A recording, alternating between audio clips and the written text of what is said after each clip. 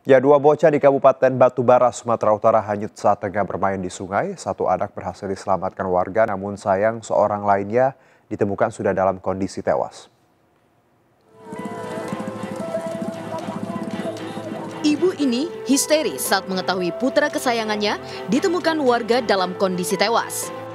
Korban ditemukan warga tersangkut di kayu setelah terseret arus deras Sungai Seridam, Desa Lalang, Kecamatan Medan Deras, Kabupaten Batubara.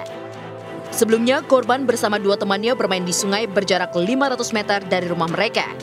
Korban dan seorang temannya tiba-tiba saja terseret arus sungai.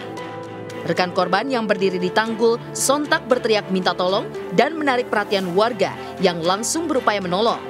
Seorang bocah berhasil diselamatkan, namun korban terlanjur hanyut terbawa arus. Terjadinya pertama tiga-tiga main-main bermandi, Hmm. ya satu yang belum nolong, Ini apa namanya? Saya apa namanya? rindam, Merina jatuh. Petugas kepolisian dari sektor Medang Deras dan warga lalu membawa jasad anak tersebut ke klinik terdekat.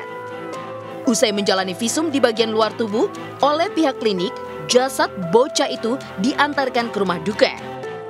Dari Kabupaten Batubara, Sumatera Utara, Dahris Matonda, iNews memberitakan.